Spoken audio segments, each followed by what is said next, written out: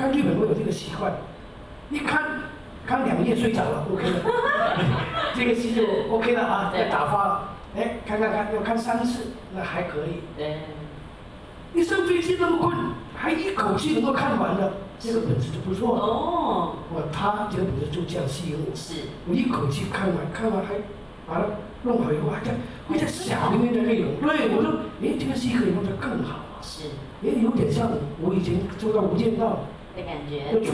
嗯。啊，我说，哎，这个戏有的改，哎呦，他怕有点浪费啊。那我们就来做一个革命的先驱吧。真对，的，本来呢是有一点点想要放弃，后来是因为志伟哥一家，我就说好，那我跟你来，我们携手吧，试试看。因为其实电影讲讲坦白讲，我们也不知道它未来会不会成功，但是你总是要踏出新的一步。嗯你有这一步，那可能我们就有一点点机会开创。对台湾电影来讲是很好的一件事。那不止台湾电影，你可能做好了华语电影，像香港啊、新加坡、新马啦、中国大陆那就放在后面，但是他还是可以做的。对我来讲是这样。我希望里面的配搭是我自己去对对象，是跟他做一个对手的。有，我希望有一些我自己很喜爱的非常好的演员，是我也希望能够带一点新人。